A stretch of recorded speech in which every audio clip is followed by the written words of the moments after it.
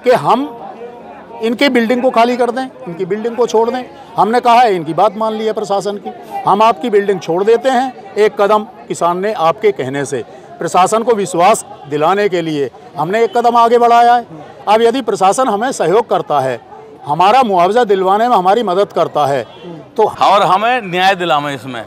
अगर मुख्यमंत्री हमारी इस बात को गौर नहीं देते हैं तो हम अगली रणनीति तय करेंगे उन जमीनों पर हम फ़सल बोएँगे अपना बीज बोएँगे अपनी जीविका चलाएँगे क्योंकि दस दस साल से जिन लोगों ने हमारी ज़मीन छीन ली हमें पैसा नहीं मिला हमारी भूखे मरने की स्थिति आज उन है हमारे बच्चों की शादी नहीं हो रही हमारे बच्चे बूढ़े हो गए। तो कितने मुआवजे की मांग को लेकर आप हमारे कहना ये है कि जब आज हमारी ज़मीन ली जा रही है तो हमें आज के हिसाब से जो सरकार का कानून है आज के सर्किल रेट का चार गुना हमें वो दिया जा जब